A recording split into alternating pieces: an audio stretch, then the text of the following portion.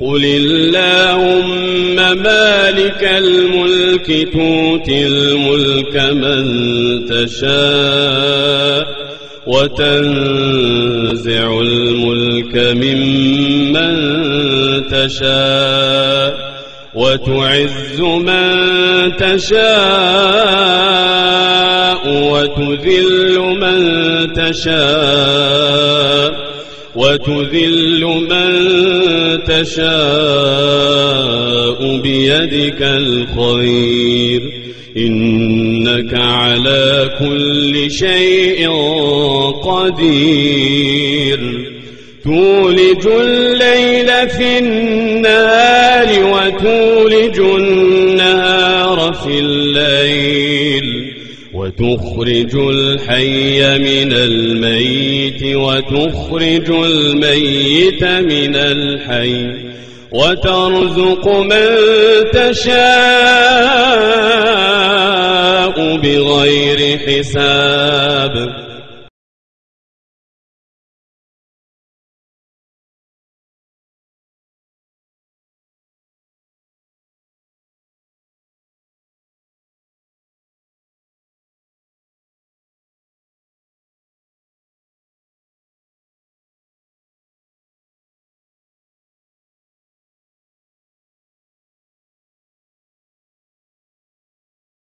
I grew up in, um, we call it in Canadian terms, a redneck town, Milton, Ontario, approximately 31,000 people.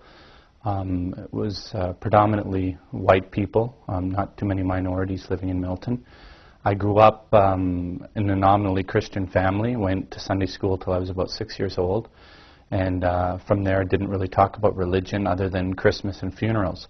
And um, growing up, I guess going through high school and school, it, we're just talking about girls, how many girls you can sleep with, um, you know, what you're going to be when you get older in terms of like um, uh, if you're going to be a rock star or you're going to be um, some rich millionaire. Actually, it didn't really matter as long as you had lots of money. So I grew up with a goal in mind of gaining as much material wealth as possible and uh, having sex with as many women as I could find and um, basically not respecting anything except for status and wealth, and, and it didn't matter how you achieved that. But I was basically a godless um, human being. I mean, obviously there was something there, but I had never explored and, and asked any questions or really not wanted any answers. I just wanted to consume from society. I went from being basically agnostic and not knowing anything and I hit a point where I was I was a compulsive gambler, and um, I lost about 100 and, $120,000 in approximately four years at uh, the new casinos when they first uh, opened up. And I hit a low point because I was falling in so much debt, personal bankruptcy, and just I was a mess.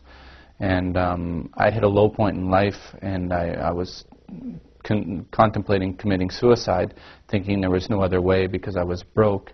And um, from there, I just decided that maybe there's an alternative way of life that I could find that would bring me inner peace. And I ended up falling upon Christianity because that was the roots that I knew of. And I started reading the Bible and going to church and actually buying the New Testament on audio cassette, talking to pastors of both Catholic and Christian uh, ministries, and uh, soul searching. And what happened was I found that, um, you know, my nature told me there's a God and God is perfect. And um, I started trying to follow the Ten Commandments, which would come from the Old Testament. And um, one of the first commands, commandments are, You shall have no other gods before me. And the second commandment uh, is, um, You shall not make an idol of yourself. And I, I found the Jewish were finding God before them by worshiping money.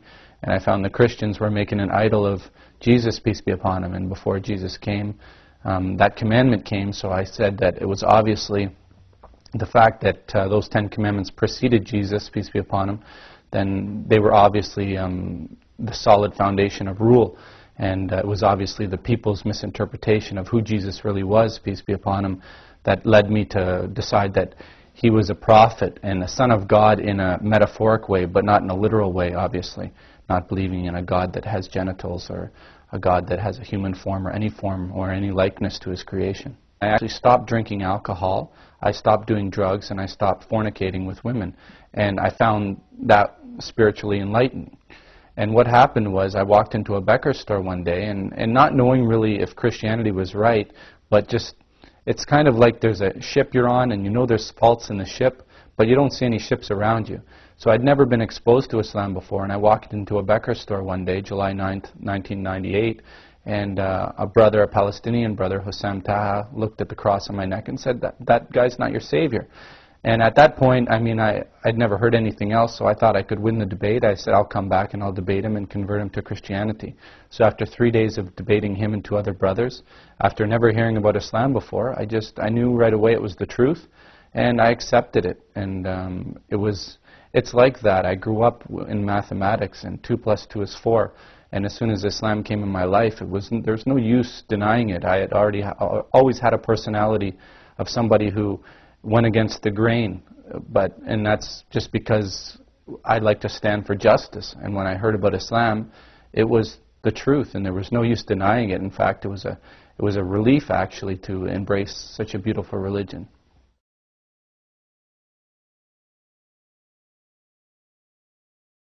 In Christianity, I mean, I was still hang, uh, hanging out with guys who were snorting coke and smoking drugs and drinking a lot of beer. And so I was considered the saint because I was the designated driver. But what I found with when I became Muslim was I started to seek people who were better than I was instead of seeking people who were worse than I was so I could justify that I was maybe a saint or a great human being. So what Islam did was humble me as a human being and as I continue to learn about Islam and, and practice Islam, I realized the more I know, the less I really in reality do know. Because the knowledge that I've gained has enabled me to humble myself to realize that this religion is so vast that you never stop learning. You're always a student of knowledge. So whereas Christianity had its limitations in that I thought I was automatically a good human being when I did those things. And there wasn't really um, any sort of teachers left to teach you all those humble teachings and to live them and, and live them out. But um, the biggest thing that changed was my concept of God. And that's really why I left Christianity, is uh, the concept of God being one of three, or, um, or even God literally having a son. I mean, these things could never sit right in my heart. I mean, math, I was playing euchre. You know, there's a card game called euchre. A lot of people were playing it in high school. They had me in those special classes, and I was playing it in grade three.